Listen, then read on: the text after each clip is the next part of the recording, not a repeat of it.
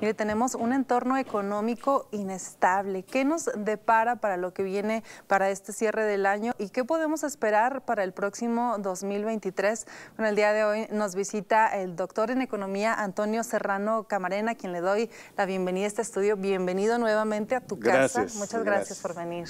Gracias, pues un gusto estar con ustedes nuevamente para platicar sobre todo lo que son las incidencias económicas de este país que cada vez tiene más turbulencia debido a las situaciones mundiales que estamos enfrentando y que no van a cambiar, al menos no en el corto plazo. No van a cambiar. No van a cambiar, definitivamente. Vienen, eh, pues seguramente alzas en las tasas de interés también. En la Fed en Estados Unidos continúa con esta tendencia. Hay un entorno ya de recesión eh, y, demás. ¿Cómo, ¿Cómo se ve y, qué podemos esperar como ciudadanos, por lo menos eh, ahorita ya en el corto plazo, ¿no? Bueno, en términos de lo que vamos a estar viviendo en los siguientes tres meses para cerrar el año, lo que tenemos es que las circunstancias del mundo no han cambiado y no van a cambiar.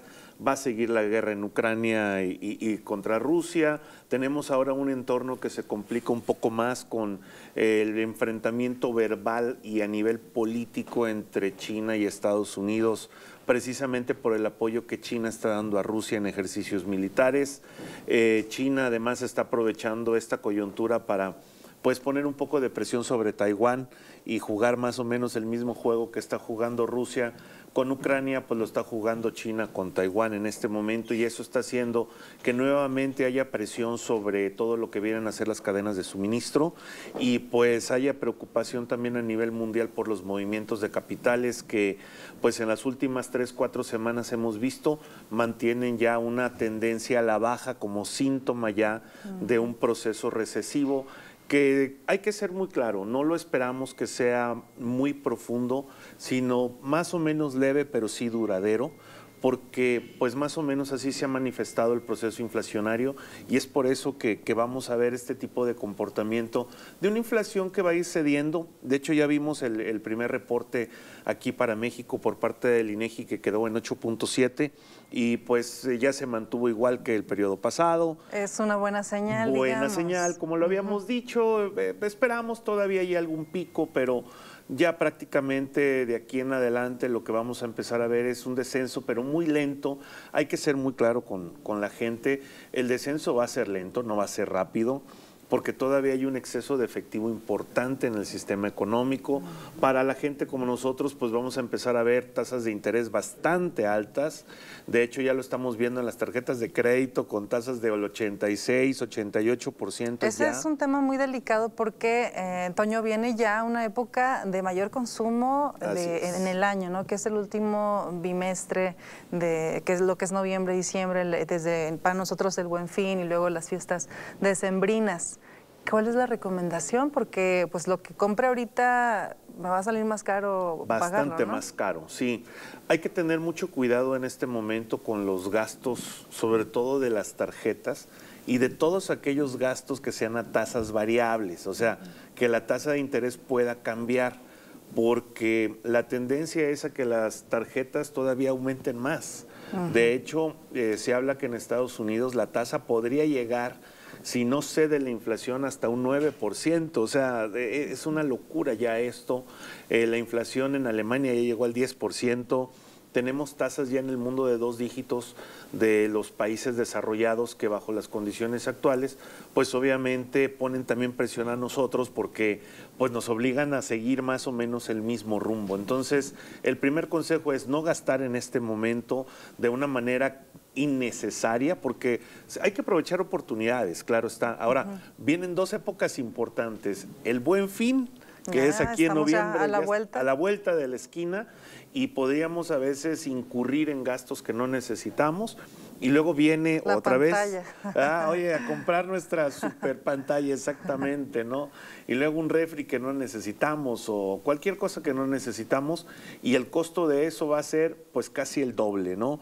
No porque veamos una oferta eh, del 50% y lo pagamos con la tarjeta de crédito, creemos que vamos a aprovechar esa oferta, definitivamente no, porque las tasas, de hecho, la próxima semana se espera que vuelvan a subir nuevamente. Así es, luego de los movimientos que hubo en Estados Unidos. Así es, es. el caminito, ¿no? Así es. De hecho, esperamos que suba en la reunión de dentro de dos semanas, que es la siguiente reunión del Banco de México, que suban 50 puntos base la tasa porque ya minoró un poco la inflación y antes de que termine el año otros 50 puntos base y entonces estaríamos terminando el año en 10.25 la tasa de referencia. Así es. Pues sí que, es importante. Entonces, la recomendación, yo leía por ahí algún, algún autor que decía, paga tu tarjeta de crédito ahorita. ¿Coincides con esta Totalmente. Es el momento ahorita no de deber, sino de pagar. Es el momento de deshacernos de, todas esas deudas que no, no nos contribuyen en nada, porque nos van a dar una sensación de que vamos a ganar más. Sí, porque a pesar de que ya se habla de que los salarios podrían subir el año que viene. Pero que 8%. Bueno, se habla de que los sindicatos van a ir por un 15% cuando menos. Pero las empresas estarán en, posición, no van a estar, ya nos ahorita nos decías, van a disminuir la producción también, dado el entorno, ¿no? Así es, de hecho va a ser una negociación muy complicada para las empresas porque por un lado el poder adquisitivo cayó prácticamente un 10%. Y también si las empresas no, pues no regresan un poquito ese poder adquisitivo al trabajador, pues se les cae también a ellas mismas el consumo. Pues entonces, esta es una, una secuencia donde el principio se vuelve de repente el fin y ese fin se vuelve el principio. Y entonces tenemos que cuidar mucho, tanto empresas como trabajadores, ese nivel de equilibrio que nos permita un consumo sano, sin dañar las finanzas de las empresas y pues se habla de que podríamos estar eh, negociando eh, aumentos entre un 8 y hasta un 15% algunas empresas que podrían darse ese lujo. ¿Qué tanto, Antonio, podríamos disminuir la producción eh, mucho hemos platicado sobre cómo esta región sureste un poco se cuece aparte pues. del resto del país por todo esto del tema automotriz y vaya, una serie de factores. Pero, ¿qué tanto se podría disminuir en el caso específico de nuestra región? Muy bien. ¿Y qué implicaciones va a tener si de pronto cuando disminuye la, la producción, a lo mejor ya no necesito el mismo número de empleados, ¿no? Eh, el análisis que estamos haciendo, de hecho, allí en el instituto y lo que hemos estado platicando con, algunos empresarios y que nos lleva a, unos resultados todavía en estado, vamos a decirlo así, de, de precaución, todavía no terminados, es que eh, para nuestro estado sí se espera una reducción de la actividad económica, pero no negativa, todavía positiva. Eh, tenemos eh, industrias que se están desarrollando ahorita y que creo que todos lo estamos viendo. La construcción está creciendo porque es el momento en el que la construcción de proyectos se lleva a cabo para que cuando pase la recesión estén listos para poder ofrecer al mercado productos con toda y la entrar con toda la velocidad. Esa es una de las cosas que nos ha hecho como Estado muy competitivo, porque hemos sabido adelantarnos mucho precisamente a estos tiempos.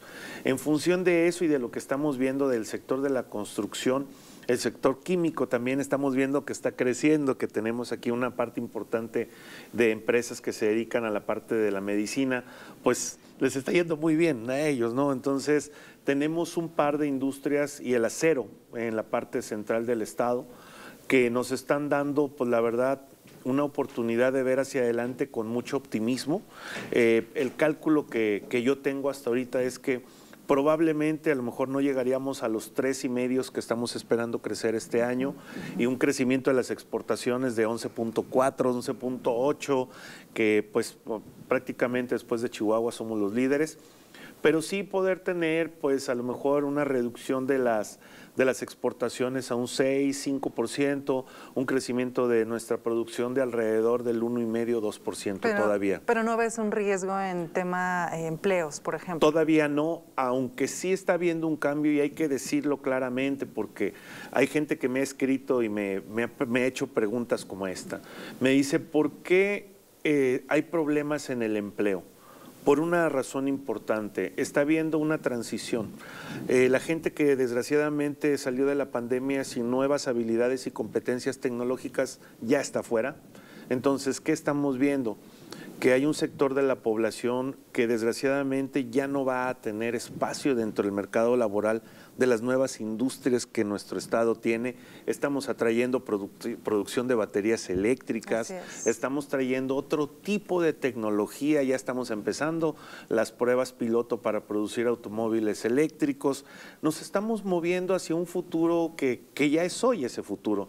Y desgraciadamente un sector importante de la población, sobre todo la de mayor edad, ya no pudo ni quiso tampoco actualizarse y desgraciadamente esa es la parte que estamos viendo que se está saliendo del mercado laboral. De alguna forma de otra, pues bueno, hay algunos esquemas de apoyo social que les va a ayudar, habrá otros empleos que surjan de esto mismo que hoy no tenemos, pero que yo estoy seguro que en un par de años van a estar, eh, porque pues definitivamente los autos eléctricos también requieren eh, cierta actividad vamos a decirlo así, manual, que esta gente que salió del mercado laboral hoy por cuestiones de tecnología podrán incorporarse y verás que sí va a haber un diferencial, sí va a haber una caída en el empleo, pero no tan importante como pudiera pensarse. Pues habría que seguirle apostando a la capacitación y a la actualización, ¿no? En este Definitivamente. De hecho, pues prácticamente ya todos los trabajos tienen que ver con programación. Quien no sepa programación está fuera de los mercados laborales modernos. Es increíble, ¿no? Ya prácticamente para cualquier trabajo que implique hasta una actividad administrativa sencilla, te están pidiendo saber programar, ya no ni siquiera hacer las cosas en Excel, sino a través de ciertos lenguajes de programación como Python, que son la norma ahora en todas las industrias. Así es, ya casi para terminar, eh, estamos, hemos platicado con algunos con empresarios líderes de diferentes sectores. Ya de cara al próximo año, en enero, se prevén una serie de incrementos. Por ejemplo, las tarifas hoteleras en algunos productos, en bueno, un sinfín de servicios ya están previendo porque ya es insostenible el nivel de, de, la inflación que tienen. ¿Qué podemos esperar y cómo, bien rápido, cómo nos, nos preparamos como ciudadanos para afrontar esta ya próxima cuesta de enero? Me parece quizá un poco anticipado, pero no tanto, dado, dado este entorno, ¿no? Primero, eh, vamos a empezar a recibir aguinaldos y adelantos por el buen fin. Lo primero que tenemos que hacer es aprender a gastar, que eso es algo que como mexicanos fallamos mucho. Ahorramos poco y gastamos mucho y casi siempre gastamos más de lo que tenemos. Entonces, eso nos pone en una situación complicada. Entonces, yo les daría tres consejos básicos y con eso creo que podríamos terminar. Primero, el dinero que reciban, ahórrenlo porque los gastos que vienen en enero y febrero van a ser prácticamente un 30-40% más caros que los de enero de este año. Entonces, ahorren, no gasten. Número dos, aprendan a hacer un presupuesto para saber en qué gastar y sobre todo determinar qué necesidades tienen como familia, como personas y de esa forma utilizar su dinero sabiamente. Y número tres, busquen algún esquema que les ayude, pues obviamente a tener a lo mejor algún otro ingreso para poder complementar el bienestar familiar en momentos complicados como este. Sigue habiendo oportunidades ¿eh? y muchas, y ahora internacionales, porque ya podemos trabajar Aquí en México cada vez tengo más alumnos, como tú ah, sabes, que trabajan para empresas en Estados Unidos, desde aquí, desde Saltillo. Excelente, Toño Serrano. Muchísimas gracias por acompañarnos, por tus palabras, por tus consejos. Te esperamos pronto. Gracias, claro que sí, Edith.